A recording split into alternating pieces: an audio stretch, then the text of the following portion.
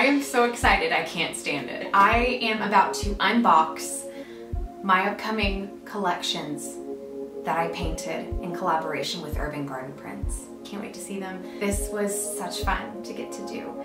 Um, you know, my, my passion in life is to curate beauty around me always.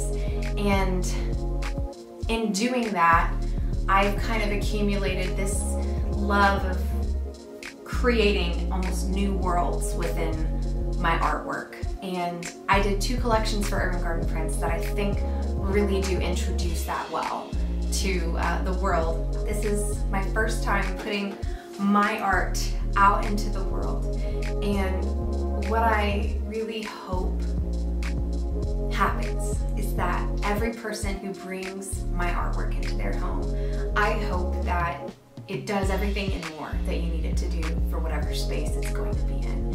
And I hope that it brings you joy. I hope it brings you excitement. Here we go.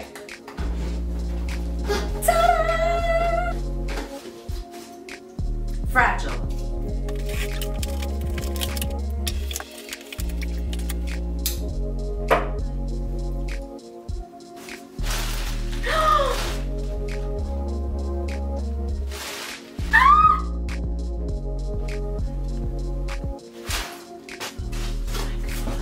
This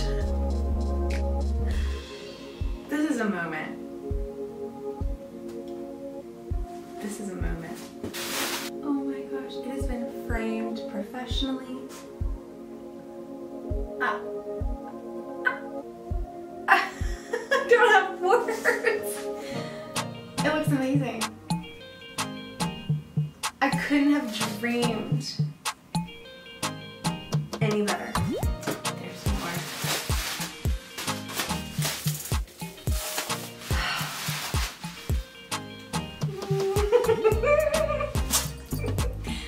one's my favorite. This is crazy. Oh my gosh, I'm so excited. I'm gonna let the rest be a surprise. On June 9th, my collection launches on urbangardenprints.com.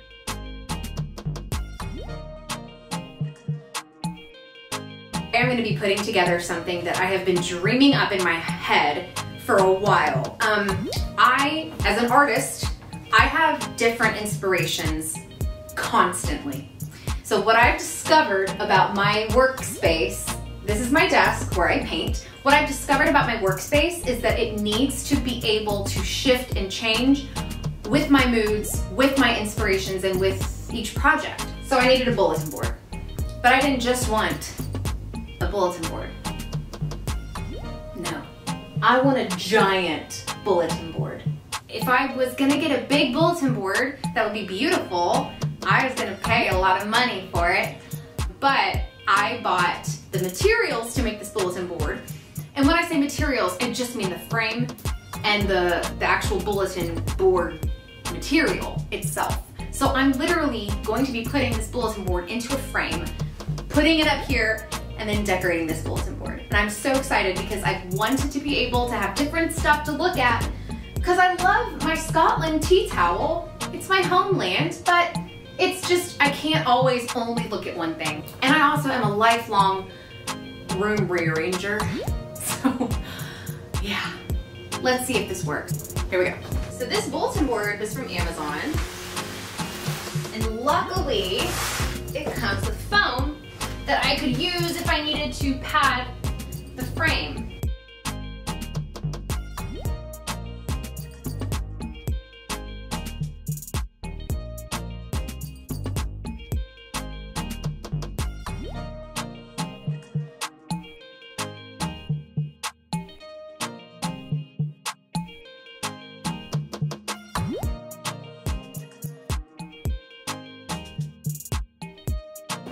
It's up! I know what you're thinking. Do you have a plan? I really, I don't. But I did um, bring some of my favorite things that I thought would be good anchors for the bulletin board. So these are some pieces that I'm gonna use on the bulletin board. This is a really sweet note from a colleague. Um, this is Marie Antoinette's bedroom. And then this is a chateau in Italy that I adore. The blue shutters on this house. I put the names on each artwork because I don't want to not know who's done these amazing things. And this one is by Paul Montgomery. I, I'm obsessed with the coloring. I love all of his work. It's so whimsical. And that's gonna be a good backdrop. This is by Relly Sheehy, who I love. Uh, this is the Mystic Garden print. I am absolutely in love with the colors and I love topiaries. I grew up with my mom putting topiaries everywhere in the house and so topiaries are very special to me. I'm just gonna get started putting it up here and see where the spirit moves me.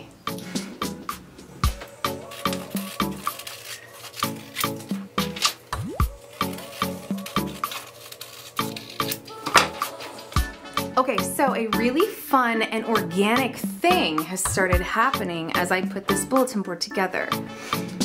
The blue tones are all seeming to look great on the left side.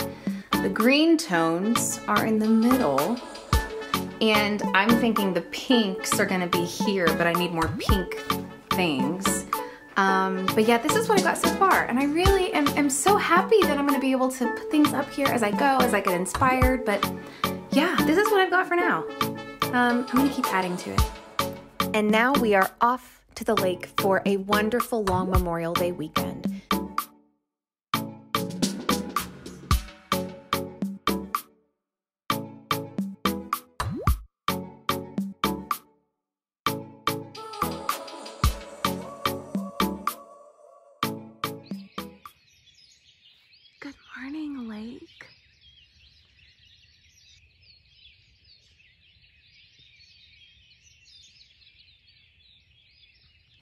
I had to come down here and see this.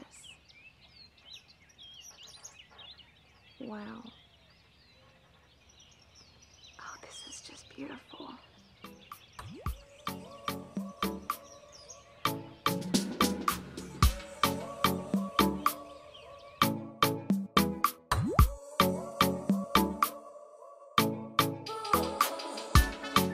Are you comfortable, sir? Come on, baby girl.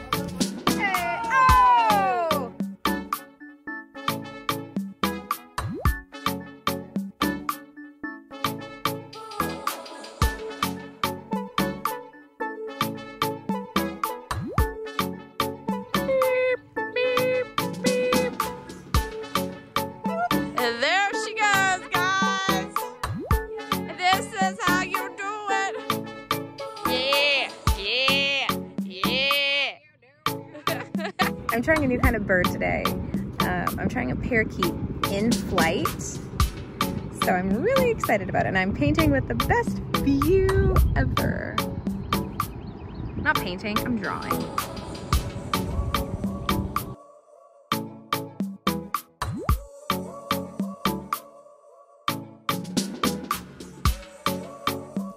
And just like that, the sun set on our last day at the lake. Then we headed to my family's house.